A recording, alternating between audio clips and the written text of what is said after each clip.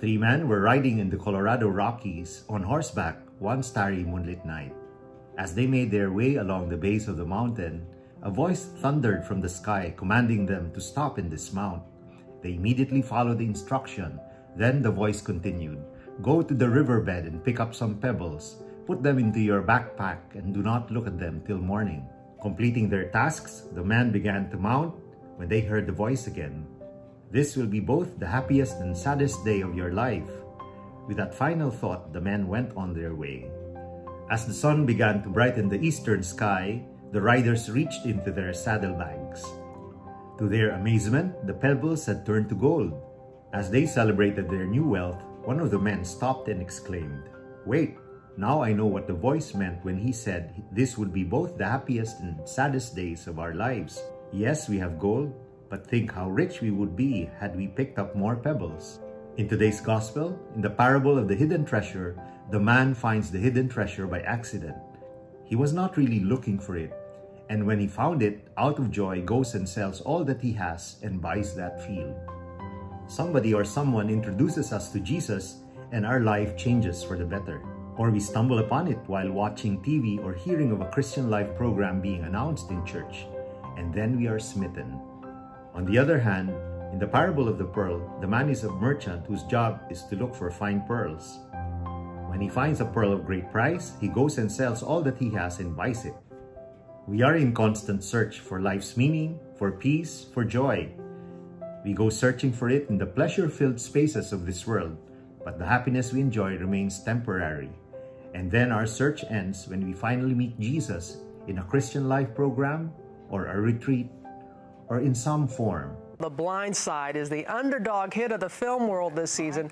In a rare turnaround, The Blind Side hit number two at the box office. Uh, number one, I should say. Last weekend, they were number one. Three weeks after it opened, even surpassed Twilight in ticket sales. This morning, we're going to meet the real-life family, inspiring millions of moviegoers. There they are there, the Tuohy family in their home in Memphis. We're going to talk to them in a moment, but first, a look at their heartwarming story. The Baltimore Ravens select Michael Oher, offensive tackle, Mississippi.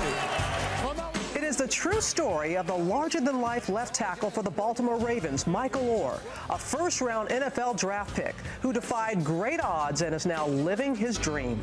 I'm just happy to be a part of the NFL. Well, was hit when he threw it, and Michael Oher, the rookie right tackle, caught it. But in many ways, for Oher, the real dream began years before he entered the NFL. One of 13 children. He grew up in northern Memphis, abandoned by a single mom. It was hard for me, you know, because I was on my own and nobody at home. Until one cold night when his life collided past with a tough-as-nails Southern mother, Leigh Anne Tuohy, played by Sandra Bullock in The Blind Side. What is he wearing? It's below freezing. Do you have any place to stay tonight? Don't you dare lie to me. Oher was eventually adopted by the family, and with Leigh Anne relentlessly by his side, he began to turn his life around, both in the classroom and on the football field. The first tutor got here at 7, and we had a tutor at 7, 8, and 9. I was, uh, I was unstoppable and felt like no matter what, you know, I was going to win the battle. Together as a family, there they were when Oher graduated from high school, played four years at Ole Miss, and was drafted by the Ravens. And in this true story, everyone's a winner anything is possible. My background is you know, bad background, and you know, people said a lot of people said I couldn't do it. You can do anything if you put your mind to it. Yes, you can. And we're joined now by the Tuohy family live from their home in Memphis, Tennessee. That's Leigh Anne. Sean, who's a dead ringer for Tim McGraw. Uh, Sean Jr., they call him SJ, and their beautiful daughter, Collins. Is, is the is the concept of the story accurate, and it's extremely accurate. It's about a, a, person with an immense amount of intellect, an immense amount of talent, and a whole lot to give to society that basically had just deemed him worthless. And I think the movie really did a nice job of showing, you know, how many Michael Ohers out there are getting passed by, or how many are slipping through the cracks. What was it about Michael, though, Leigh Anne, that made you want to have Sean stop the car and, and, and go and get him? I, you know, if I knew the answer to that, that'd be worth a million dollars. Michael was there. He had a need. We were had the ability to fill it. Um, we all fell madly in love with him within probably 48 hours, and um, he was just an instant part of this family. And you know, Sean Jr. doesn't even really know life without Michael. You know, SJ was probably seven when Michael came, and he um, he doesn't know life without Michael. Really, none of us do anymore. We forget what it was like before Michael was here. So Michael uh, wanted to receive help, Mm-hmm. and um, and and he wanted to, uh, to change his life and better himself. And um, and we were just here, and and it was just uh, the we were just lucky. We just got a, a great kid, uh, a wonderful addition to our family.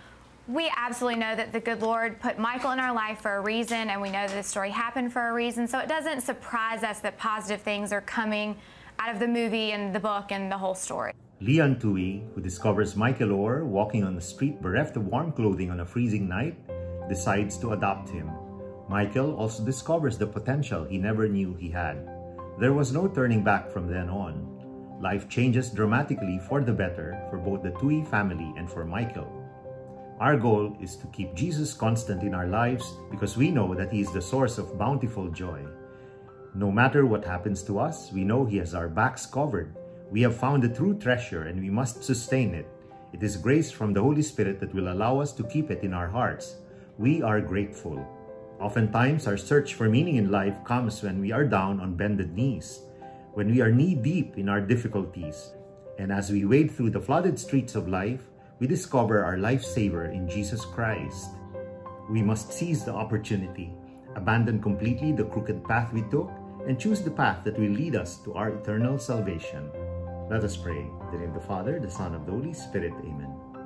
Heavenly Father, now that I've found your treasure, let me not be separated from you. Let me desire you completely and constantly, so that peace and joy may remain in me. This I pray in Jesus' holy and mighty name. Amen. In the name of the Father, the Son, of the Holy Spirit. Amen. God bless your families, brothers and sisters. God bless our Catholic faith and couples for Christ.